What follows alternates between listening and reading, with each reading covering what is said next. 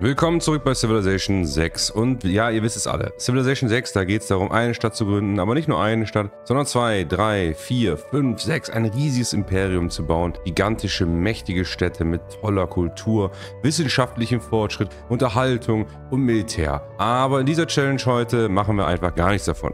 Und zwar bauen wir nicht eine einzige verfluchte Stadt, sondern haben einen Siedler und dieser Siedler, den nennen wir einfach mal Hans und der wird tatsächlich uns komplett begleiten und mehr nicht. Die Zivilisation, die uns begleiten wird, sind die Maori. Und schon mal Disclaimer, es ist ein Stream-Mitschnitt, also stört euch nicht daran, dass hier verschiedene Bildelemente drin sind, die sonst nicht drin sind. Aber ich dachte, ich kann euch diese Challenge nicht vorenthalten. Und weiterer Disclaimer, ich habe das Ganze einige Mal versucht. Ich will nicht so tun, als wenn das einfach eine Selbstverständlichkeit wäre, denn es ist mittlerweile nicht mehr so leicht, wie es mal vor ein paar Jahren war, diese Challenge Challenge zu gewinnen. Noch kurz Werbung in eigener Sache. Twitch, kommt einfach vorbei, OmniLP, da habe ich das Ganze aufgenommen und auch viele andere Challenges wie eine Stadt-Challenge oder Archipel Chaos, Crusader Kings 3 und so weiter und so fort. Und abonniert auch gerne hier den Kanal oder den zweiten Kanal, wo einfach die Wots drauf kommen. Aber genug davon. Wir sehen jetzt unsere Anfang. Unser Anfang ist deswegen auch ganz gut zu überquatschen, weil er immer gleich abläuft dieser Challenge. Ihr lauft mit eurem Siedler und eurem einen Krieger, mehr habt ihr ja nicht, über die ganze Karte und sucht vor allen Dingen einen Stadtstaat. Warum ein Stadtstaat? Ein Stadtstaat gibt euch diplomatische Gunst, wenn ihr ihm als Vasall habt. Und natürlich gibt er verschiedene andere Boni, wie zum Beispiel ein bisschen mehr Kultur, was aber in diesem Playthrough komplett irrelevant ist. Dann, warum die Maori? Das ist auch ganz einfach. Es ist die einzige Zivilisation, die passiv Forschung und Kultur generiert und damit die einzige Nation, die ohne eine Stadt auch wirklich forschen oder eben Ausrichtungen erforschen kann. Außerdem müssen wir weiter erkunden, um unsere Nachbarn zu finden. Wir sehen, wir haben schon China entdeckt und werden gleich auch noch Lautaro entdecken. Denn das ist wichtig, um eine Übersicht zu bekommen, um hier auch wirklich einen Sieg anzustreben, der überhaupt möglich ist. Wir haben hier fünf Gegner. Wir sind auf Kontinentekarte. Nach den verschiedenen Fails und Tries, die wirklich auch teilweise sehr knapp waren, war es so, dass die Kontinentekarte sich als Bestes erwiesen hat. Und dann nehmen wir die auf jeden Fall. Und fünf Gegner scheint so ganz gut zu sein. Mehr ist schlecht, weniger ist auch schlecht. Von daher scheint es die goldene Mitte zu sein. Außerdem erhoffen wir uns natürlich von unserem Siedler und unserem Krieger. Der Krieger wird irgendwann wahrscheinlich draufgehen, aber so viele Stammesdörfer wie möglich. Denn jedes Stammesdorf gibt uns Gold und irgendwelche Sondersachen, aber am wichtigsten eigentlich nur Gold, Gold, Gold, Gold. Der Rest ist uns egal, außer natürlich ganz seltene Stadthaltertitel und Gesandte, die wir kriegen können, denn zwei Gesandte würden uns eben schon mal einen Stadtstaat bringen und dieser Stadtstaat wird uns eben den jeweiligen Vorteil bringen, vor allem eine diplomatische Gunst zu bekommen. Und die schlauen Füchse unter euch haben schon gesehen, wir haben schon eine diplomatische Gunst, das heißt, wir haben einen recht guten Run hier gehabt. Wir haben zwei Gesandte bekommen und damit schon Moen Yodaro, wovon wir ja schon einen Gesandten automatisch bekommen haben, weil wir sie als erstes entdeckt haben,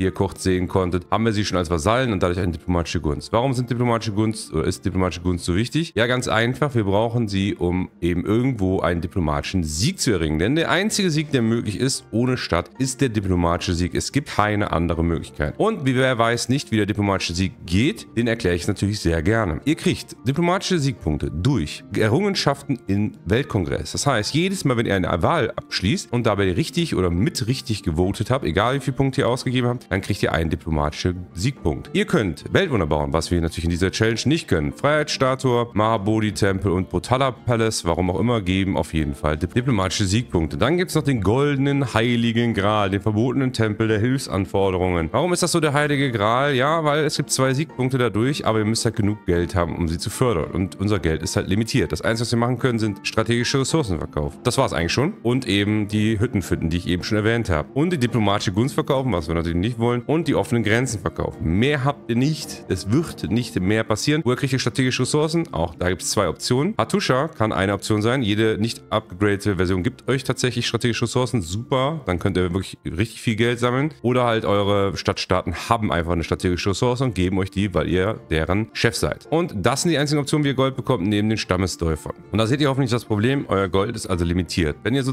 3000 kriegt in dem ganzen Spiel, dann seid ihr recht gut dabei. Wenn ihr 500, 600 kriegt, dann habt ihr schon sehr viel Pech gehabt. Könnt aber eben Glück haben, dass die Hilfsanforderungen, deswegen sind sie ja der Heilige Gral, so gestrickt sind, dass ihr die einzigen seid, die reinfördern. Zweitens, die Leute alle miteinander Krieg sind und jemand fördert, mit denen die anderen Leute im Krieg sind. Dadurch kriegen die nicht negative Punkte. Da müssen die sehr viel Gold mit reinpumpen, was auch passieren kann. Oder drittens, die Leute einfach kein Geld reingeben. Das heißt, eine frühe Hilfsanforderung, wo ihr noch viel Gold habt, die anderen nicht, ist das Beste, was ihr kriegen könnt. Oder später Hilfsanforderungen, wo kaum jemand mit reinfördert oder sogar nur ihr da seid. Dann müsst ihr nur ein Gold bezahlen, habt einfach gewonnen. Den absolute Heilige Gral. Alles andere andere kann aber dazu führen, dass die KI einen diplomatischen Sieg kriegt und dann habt ihr natürlich verloren. Eigentlich kann man auch schon sagen, wenn ihr das Gold reinpumpt und die KI dann im letzten Zug noch mehr Gold reinpumpt, dann könnt ihr restarten, denn dann habt ihr nicht mehr genug Geld, um irgendetwas anderes zu gewinnen und müsst wirklich jeden einzelnen Weltkongress wie ein kleiner Gott spielen, überhaupt eine Chance zu haben. Und ich kann euch sagen, je nachdem, welche Sachen ihr im Kongress kriegt, erst am Mittelalter, deswegen quatsche ich hier gerade noch drüber, dann habt ihr wirklich ein Problem, da das Richtige zu treffen. Gerade sowas wie Luxusressourcen wählen ist ein absoluter Graus und manch andere Dinge, die später im Spiel kommen, auch. Wir sind also jetzt endlich im Mittelalter angekommen. Ich habe fast alles erzählt, glaube ich, was wichtig ist. Außer eine Sache noch, was wir forschen, ist eigentlich bei Forschen komplett egal. Ausrichtung ist es wichtig für die Gesandten, die Gouverneurstitel, weil wir brauchen Armani auf Max-Level, um noch einen souveränen Bonus zu bekommen, was ganz wichtig ist. Armani gibt ja Gesandte an den Stadtstab, wo ihr sie platziert, ist auch der einzige Stadthalter, den wir nutzen können. Und wir wollen natürlich politische Philosophie haben, weil eine neue Regierungsform gibt uns eine diplomatische Gunst mehr. Alles andere ist komplett nutzlos. Alle politischen Karten sind komplett sinnlos für uns. Die können wir nicht nutzen. Und das Ganze dauert natürlich auch mal 100, 140 Runden, weil wir halt natürlich mit zwei Kulturen, zwei Forschungen uns begnügen müssen. Aber gehen wir jetzt mal richtig in das Spiel rein. Wir sehen den ersten Quellkongress, der ist relativ friedlich. Und zwar müssen wir einen großen, eine große Persönlichkeit auswählen und wir müssen einmal einen Handelsweg auswählen. Beim Handelsweg muss man einfach danach schauen, welche Stadtstaaten sind am nächsten bei den Gegnern daran. Ich zeige euch jetzt nicht die Überlegung die ganze Zeit, das würde nicht 10 Minuten teilweise dauern. Und ihr guckt halt bei den großen Persönlichkeiten, was haben die Leute am meisten. Meistens ist Campus am Anfang, kann aber auch variieren. Und wir kriegen auch direkt die erste Hilfsanforderung sehr früh, was extrem gut ist. In der unter 100. Runde eine Hilfsanforderung ist absolut nervös machen, weil das ist eine Chance, das Spiel zu gewinnen. Denn die zwei diplomatischen Punkte sind sehr wichtig. Ich habe übrigens noch eine Sache vergessen, wodurch ihr diplomatische Punkte bekommt. Und zwar durch diese ganzen Events am Ende im Weltkongress, also die Weltausstellung und so weiter. Da gibt es ein Event, das ihr gewinnen könnt, wofür ihr zwei diplomatische Siegpunkte bekommt. Das ist das einzige, wodurch ihr gewinnen könnt. Und das ist dieses CO2-Event. Mehr könnt ihr natürlich nicht gewinnen. Exemplarisch zeige ich euch hier mal, wie man mit Quick Deals einfach die ganze Zeit seine Ressource verkauft. Es sind Pferde konstant, die muss man frühestmöglich verkaufen. Macht immer schön Geld daraus, sodass wir halt möglichst viel Geld fürs Ende haben und eben um diese Hilfsanforderung zu gewinnen. Das heißt, wir haben jetzt schon mal zwei diplomatische Siegpunkte und wir haben eine gute Chance, nochmal zwei weitere zu gewinnen. Was eine sehr gute Sache ist. Und wir haben zwei Vasallen, was uns eben zwei diplomatische Gunstbodene gibt und bald die politische Philosophie. Es sieht also momentan sehr gut aus. Ich kann euch aber sagen, das sah schon mal deutlich besser aus und auch da war es äh, tatsächlich ein Fail. Denn das kommt immer darauf an, wie stark ist die KI. Manchmal kann die KI in dieser Zeit schon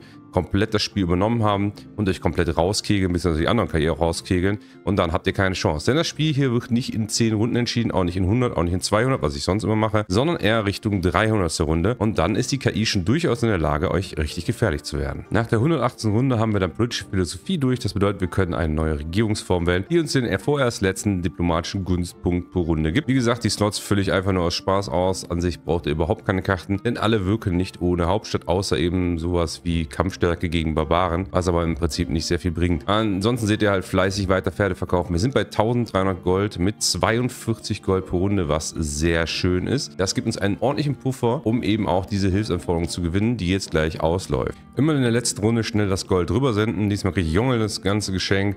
200 Gold, weil sonst keiner etwas hineingetan hat, was natürlich absolut göttlich ist. Genau sowas brauchen wir, um diese Challenge zu gewinnen. Das müsst ihr auf jeden Fall immer im Auge behalten und nicht vergessen, so wie ich es im Mal getan habe. Und dann könnt ihr auch zwei lockere Siegpunkte abgreifen. Der nächste Kongress bietet uns tatsächlich auch sehr angenehme Auswahlmöglichkeiten. Wieder den Handelsweg, wo wir das gleiche nehmen wie vorher. Ihr könnt auch immer, nicht immer, sondern manchmal sehen, was die verschiedenen KIs auch wählen würden. Wonach das genau gesteuert ist, keine Ahnung. Das da oben ist allerdings ein bisschen blöd. Dieses Handelswege geben vier Gold und so weiter ist immer etwas schwierig. Ihr müsst immer gucken, gucken, wer ist mit wem befreundet, wie genau befreundet, wer mag wen und wen würden die dann wählen, ist eine der blöderen Anforderungen. Ist aber machbar, in meinen Augen, weil ihr könnt zum Beispiel sagen, zwei wählen ja, ja, ich will das, dann musst du einfach nur genug diplomatische Gunst reinsinken, was du aber eigentlich nicht machen willst, weil diplomatische Gunst brauchst du vor allem für den letzten Push, sag ich mal, wo ihr Diplomatie-Punkte auch über den Kongress direkt abgreifen könnt. Deswegen wollt ihr so wenig wie möglich ausgeben. Ich wähle jetzt hier Jonge und hau da ein bisschen rein, um eben die Hoffnung zu haben, dass das so funktioniert. Und das Ergebnis ist na? Ja, wir haben es tatsächlich geschafft. Junge und eben auch wieder den gleichen Stadtstart. Und damit sind wir schon bei sieben Siegpunkten, denn wir haben wieder zwei erhalten. Das Ganze geht jetzt Schlag auf Schlag, deswegen sind wir beim neuen Kongress. Wir haben auch eine neue Hilfsanforderung für Lautaro und schauen uns jetzt mal an, was haben wir denn jetzt angeboten bekommen. Die Produktion von Militäreinheiten ist relativ einfach. Meistens ist es so, dass man einfach Produktion minus 50% nimmt, ein, zwei Haken reingibt und dann ist gut oder Däumchen oder diplomatische Gunst, wie auch immer. Und äh, verdiene doppelte große Persönlichkeitspunkte, verdiene keine. Ist immer so eine Sache. Schriftsteller ist oft so, dass sie es nicht wollen, weil gerade jemand mit Schriftsteller abgegangen ist, ich glaube Jonge. Und ja, da habe ich leider aber vor ähm, nicht so, es ist ein ausgeglichener Punkt gewesen, aber es wurde tatsächlich wieder große Wissenschaftler gewählt. Ich weiß auch nicht genau, was mich da geritten hatte, dass ich da große Schriftsteller gewählt habe statt große Wissenschaftler, was beim ersten Mal auch schon funktioniert hat. Naja, das heißt aber, wir sind jetzt bei 10 Siegpunkten und nicht bei 11 Siegpunkten. Wenn ihr nochmal Hans, unseren Siedler, sehen wollt, der steht schön hinten bei den Mongolen, ist es tatsächlich, war gar nicht China. China ist ja Jonge, Chinese ist es nicht, sondern der Kublai Khan von den Mongolen. Da steht er rum, Krieger schwimmt weiter rum, wird wahrscheinlich irgendwann sterben, erfahrungsgemäß. Und wir sitzen hier zwischen Rom und eben dem Mongolen, einfach um sicher zu halten. Wir haben Lautaro tatsächlich wieder gewonnen mit 1200 Gold, die wir da reinschiffen mussten. Ist ein extrem guter Start. Wir sind jetzt in der 197. Runde aber auch, müsst ihr dran denken. Das heißt, jetzt kommt es langsam ins Siegterritorium, auch von der KI, wenn es eine starke KI ist. Und gerade bei Jongel seht ihr, der geht verdammt gut ab was eben gefährlich sein kann, denn eine KI muss gewinnen, es müssen ja nicht 10 KIs gewinnen oder sonst was. Das reicht, um das Spiel schon wieder zu ruinieren und diese hunderten Züge wieder zu wiederholen. Unser Hans wird sich einfach im weiteren Gebiet stellen, um sicher zu sein vor Barbaren oder sonst irgendwelchen Quatsch und dann geht es auch schon wieder zum nächsten Kongress. Der nächste Kongress bietet uns zwei Möglichkeiten. Eins recht einfach, Produktion für Gebäude im Bezirk immer Stadtzentrum nehmen und vielleicht eins draufhauen im Notfall. Aber oben ist etwas schwieriger. Ich gehe da auf, eine Person will keinen Kulturschock durch den Distrikt haben und dann nehmen wir den, der meist gehasst ist, das ist Kublai Khan und sagen, ja, der kriegt das nicht und geben ein, zwei Punkte hinein. Und dann gucke ich jetzt nach den diplomatischen Siegpunkten. Furchtig, jetzt kommt der letzte Punkt für diese Challenge, wenn ihr nachspielen wollt. Sobald ihr 16 Siegpunkte habt, werden euch die KIs immer alle Siegpunkte abziehen. Ich mache jetzt folgenden Trick, der ist recht lustig. Ich gebe jetzt Julius Caesar diese zwei Siegpunkte, weil weil der halt 229 diplomatische Gunst also am meisten hat, und gebe einen Daumen mit rein, sodass wir das auf jeden Fall gewinnen. Ich einen Siegpunkt kriege und er zwei. Da er nicht viele Siegpunkte hat, ist mir relativ egal, was da passiert. Und dadurch, seht ihr ja, gewinnen wir alle drei Punkte, kriegen also insgesamt drei Siegpunkte und sind damit auf 15, die noch recht lecker sicher sind. 15 Siegpunkten, die uns eben eine Sicherheit geben. Und ab 16, wie gesagt, wird es schwierig. Der ganze Push geht aber auch langsam voran. Wissenschaftlich sind Nadashar und Jongel tatsächlich schon gut dabei und werden natürlich auch Druck ausüben. Mal sehen, sehen, ob das funktioniert. Außerdem könnt ihr sehen, dass wir bei den Gouverneurstiteln durch sind. Armani hat den letzten Titel erreicht. Damit verdoppeln wir einmal die Gesandtenzahl in einem Stadtstaat. Wir haben aber tatsächlich einen verloren. Wenn ihr nämlich schlau seid und oben guckt, dann seht ihr noch zwei diplomatische Gunst, was das Ganze etwas schwerer macht. Wolin gehört uns noch. Allerdings haben wir Nanmadol oder Mohenjo-Daro, ich weiß nicht mehr welch von beiden, tatsächlich verloren. Und das ist natürlich ein Problem. Ganz nett ist, dass Jonge im Krieg ist mit Lautaro und weiß ich nicht wen noch. Das führt natürlich dazu, dass Lautaro ein bisschen langsamer wird. Aber Lautaro ist beim Kulturspiel recht vorne, aber Kultur ist noch recht angenehm. Er wissenschaftlich wird Nadashar und eben Jongel weiterhin das Problem darstellen. Auch wenn man erstmal vielleicht nicht denkt, dass Nadashar, der sich oben links in der Leiste befindet, der nur 227 Forschung hat, da jetzt krass abgeht, aber tatsächlich wird er, da er einen einzelnen kleinen Kontinent für sich beanspruchen konnte, ein größeres Problem darstellen. Kurz vor dem nächsten Kongress, und wir sind schon in der 234. Runde, seht ihr, dass Jongle ein bisschen Wissenschaftssieg angefangen hat. Es ist aber alles noch relativ zahm. Da gab es wesentlich schlimme Runden. Da war 234. Runde schon K.O. Von daher ist es ganz okay. Wir kriegen schon wieder das Plus 4 Gedöns. Das ist relativ einfach. Und Beförderungsstärke oder Beförderungsklasse kriegt 5 äh, Kampfstärke. Ist relativ einfach. Eigentlich immer Nahkampf nehmen. Und ja, beim Handelsweg müssen wir wieder gut überlegen, was wir da nehmen. Wir nehmen wieder Jongle und hoffen, dass es so wie letztens schon mal funktioniert. Das Spannendste ergibt sich ja immer bei den zwei diplomatischen Siegpunkten. Ihr könnt jetzt sagen, hey Kupe, du kriegst jetzt einen weniger, weil wir jetzt halt bei diesen 15 sind. Und dadurch kriegt ihr tatsächlich, weil alle jetzt sagen, hey, du kriegst zwei diplomatische Siegpunkte weniger, dann kriegst du trotzdem einen Siegpunkt dazu. Das heißt, du hast im Endeffekt nur einen diplomatischen Siegpunkt verloren. Ganz wichtiger Trick, den ihr unbedingt mitnehmen sollt. Wir sind jetzt noch immer bei 15, weil wir eben zwei verloren haben, einen dazu gewonnen haben und nochmal eine Entscheidung gewonnen haben. Leider nicht beide Entscheidungen. Das war halt so, weil ähm, Jongel nicht die Handelsroutenkapazitätsgedöns bekommen hat. Ihr merkt also, jetzt kommen wir langsam vor so einer fiesen Wand, denn was machen wir jetzt? Wir kriegen die ganze diese Siegpunkte abgezogen. Wir müssen jetzt auf Hilfsanforderungen hoffen, die gerade tatsächlich gekommen sind, auf Latara wieder. Und das Gute ist, sie sind relativ viel im Krieg miteinander, wo wir noch eine Chance haben, in unseren 2000 also zu glänzen. Und wir müssen auf dieses CO2-Event hoffen, um einen letzten Push auf diese zwei Siegpunkte zu bekommen. Und wir müssen dann zusätzlich noch einen sehr sauberen Weltkongress spielen, weil wir ja trotzdem zwei Siegpunkte abgenommen bekommen. Oder wir hoffen, dass wir so viel diplomatische Gunst irgendwo anhäufen, dass wir uns zwei Siegpunkte geben können, was aber eher ein Traum ist, weil wir nur zwei pro Runde haben, nicht zwölf Runde. In der 250. Runde seht ihr, dass Jongel und Nadashar langsam den zweiten Schritt der Wissenschaft durchgezogen haben und auch Richtung Sieg tatsächlich gehen. Unser Hans steht noch immer glücklich bei seinem Kublai Khan, aber wir müssen langsam Gas geben. Das Ganze wird wahrscheinlich haarscharf werden und kann auch immer in einem absoluten Fail enden. Obwohl Kublai Khan unserem Hans Zuflucht gewährt, klaut er uns trotzdem irgendwie die Hilfsanforderung. Es kommt zu noch einer Hilfsanforderung bei Nadashar. Dann kommt es dazu, dass es auch einen religiösen Notfall gibt und ich denke dann, oh cool, da haben ja gar nicht alle zugestimmt. Nee, das stimmt leider nicht. Ihr seht oben die Daumen alle wollten ihnen tatsächlich helfen. Deswegen ist das nicht so cool, wie ich es jetzt darstelle und mich richtig freue. Ja, cool, das wird eine Chance. Und dann sehe ich, oh, Nö. Das heißt, wir müssen natürlich wieder gegen alle im Wettbewerb antreten und das ist natürlich sehr schlecht für uns, weil unsere 2000, die wir haben, sind eigentlich alles, was wir jemals bekommen werden. Mehr gibt es nicht mehr. Es gibt keine Geldquelle mehr, die wir erschöpfen können. Um die 264. Runde kommt es dann zum nächsten Kongress und wir haben ein Problem. Duplikat von Luxusgut ist so gut wie nicht zu erkennen. Das könnt ihr eigentlich kaum erraten, was da genau gewählt wird. Ist sehr schwer auch zu erahnen. Macht sehr viel Arbeit. Leider geht es nicht anders, dass wir uns wieder die Punkte abnehmen. Wir bekommen Weltspiele, bringt uns auch gar nichts und müssen einfach hoffen, dass wir bei den Luxusgütern in irgendeiner Form raten. Ich will da irgendwo rumschauen, aber es ist wirklich einfach nur extrem schwer. Ich habe auch die Karte nicht so weit aufgedeckt, dass ich jetzt da ein absolutes Urteil fällen könnte, selbst wenn ich die Lust dazu gehabt hätte, halt zu suchen und zu suchen, wie viel denn wirklich noch vorhanden ist. Deswegen gibt es da eigentlich so gut wie keine Möglichkeit, dass ich das bekomme. Ich erspare euch also die verzweifelte Suche danach, wo denn jetzt genau welche Luxusressource wie auch immer angewählt werden kann und hoffe, dass ich wenigstens beim Migrationsabkommen recht habe, denn auch das ist nicht immer so einfach. Ich gehe mal davon aus, dass Julius Caesar ziemlich äh, nicht gemocht wird und die Loyalität runtergesetzt wird. Das ist tatsächlich auch so. Und leider ist es so, dass beim Diplomatiesieg Julius Caesar sich komplett in reingewatzt hat und wir deswegen nicht mal unseren einen traurigen Siegpunkt bekommen haben. Aber Gute ist, wir haben natürlich auch keinen verloren. Damit sind wir jetzt bei 16 von 20 Siegpunkten und schon irgendwo auf der Siegestrecke, was tatsächlich gar nicht so schlecht ist, denn die Zeit mit 266 wird auch knapp. Ihr seht, die zweiten Stufen sind beendet und die dritten Stufen wurden auch von Nada Shah und Jonge schon im Wissenschaftssieg angefangen. Die Welt scheint ziemlich unterzugehen, deswegen kommt auch noch eine Hilfsanforderung. Ich weiß ehrlich gesagt gar nicht mehr, was mit Lautaros Hilfsanforderung passiert ist. Ich glaube einfach, dass wir sie nicht bestanden haben, weil eben der äh, Kublai Khan da so viel mit reingeballert hat. Ihr seht aber, diese Hilfsanforderung Anforderungen hätten wir theoretisch eine Chance. Wir sind zwei Personen, die tatsächlich mitgehen. Kublai Khan und eben ich. Ich habe in den 2000 auch, seht ihr oben gespart, von daher kann ich auch Lotaros Hilfsanforderungen gar nicht gewonnen haben. Das heißt, wir haben jetzt zwei Hilfsanforderungen, die wir theoretisch auch gewinnen könnten. Das würde uns natürlich auch wieder den Vorteil geben, dass wir eben tatsächlich unseren, ja, zwei Siegpunkten dann dazu bekommen und unseren Sieg immer näher kommen.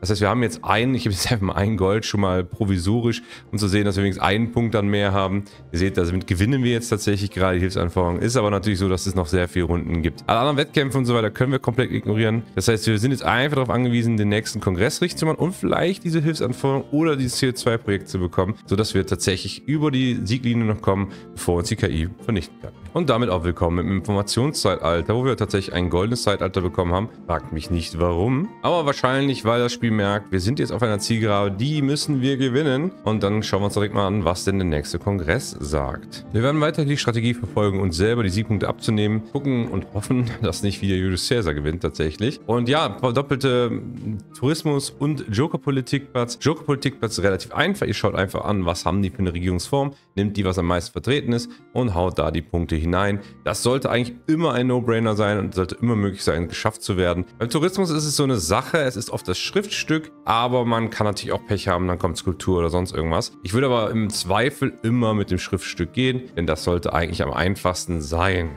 Gesagt, getan, Schrift eingeloggt und einen Daumen nochmal hochgegeben, also ein bisschen diplomatische Gunst eingegeben, damit wir auch eine wirkliche Chance haben, dass gewählt wird. Und wir haben das Klimaabkommen. Heißt, wenn wir noch 30 Runden überleben, haben wir eigentlich gewonnen, wenn wir hier jetzt noch zwei Siegpunkte bekommen. Denn dann können wir tatsächlich das Spiel beenden. Aber natürlich wird das eine trotzdem sehr knappe Geschichte sein. Ihr seht, wir haben Schrift, digitale Demokratie und Kupe verliert einen Punkt. Also zwei eigentlich, aber nur einen netto. Das heißt, wir haben jetzt 18 Punkte. Aber ihr seht, Nada Shah ist auf dem Weg in den Weltall ins Weltall. Das heißt, er hat die letzte Stufe erreicht, braucht noch 40 Runden um eben diese Geschichte zu beenden. Und das müssen wir jetzt schnell schnappen. Wenn er jetzt auch noch irgendwelche Projekte kriegt, die das Ganze boosten, wird er natürlich auch schneller als 40 Runden sein. Ich bin jetzt ziemlich beeindruckt davon, dass Nada Shah eigentlich relativ unscheinbar sich vor Jonge sogar noch geballert hat, sodass er deutlich weiter ist mit dem Wissenschaftssieg, was ich schon ziemlich beeindruckend fand. Ich hoffe, es ist klar, aber ich erkläre es trotzdem nochmal. Das Klimaankommen gewinnen wir natürlich, weil wir halt keine Städte haben und deswegen kein CO2 produzieren. Das heißt, wenn wir das gewinnen, haben wir das Spiel auch gewonnen oder eben die Hilfsanforderung, wobei Kubla Khan, wie ihr gerade gesehen habt, da 600 Gold schon reingeballert hat. Wir können nur diese 2137 reinpushen. Mehr geht nicht. Aber wenn wir Glück haben, können wir jetzt in der nächsten Runde, wenn ich jetzt alles Gold hier reinsetze, ich mache einfach alles rein, weil wofür brauche ich das Gold noch, dann können wir tatsächlich gewinnen. Es bleibt abzuwarten, ob das klappt oder nicht. Wir schauen uns an, was die nächste Runde bringt. Und tatsächlich gewinnen wir die Hilfsanforderung. Nur wird den schlauen Personen unter euch aufgefallen sein, dass ich tatsächlich erst 19 von 20 Siegpunkten habe und mich leider verrechnet habe. Das heißt, das Zitterpartie geht weiter. Ihr seht, wie da nach der Schade den Sieg kommt. Wir haben noch sechs Runden fürs Klimaabkommen, um den letzten Siegpunkt zu bekommen. Und jetzt zur Zukunft kommt es dazu, dass das Klimacom abgeschlossen ist und wir tatsächlich gewinnen. Ich hatte zuerst gedacht, weil die Runde so lange gedauert hat, ich habe rausgeschnitten, dass Nadashar noch irgendwie gewonnen hat. Aber nein, wir haben es geschafft. Wir haben den Diplomatiesieg gewonnen, also den Sieg geschafft, ohne eine einzige Stadt zu bauen, ohne Einheiten zu bauen, nur mit ein bisschen Erkundung und ein bisschen schlauer Planung mit Diplomatiesieg. Wenn es euch gefallen hat, kommt gerne mal Twitch vorbei, da spiele ich Civ oder andere Strategiespiele, lasst ein Follow da oder abonniert hier, schreibt einen Kommentar, wie es euch gefallen hat und ein Like da lassen. Ihr wisst das ganze Programm. Bis zum nächsten Mal, haut rein.